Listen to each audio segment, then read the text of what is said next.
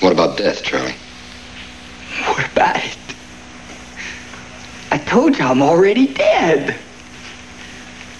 And while I'm waiting around to take the other form, I got study chow. It ain't great, but it's better than garbage.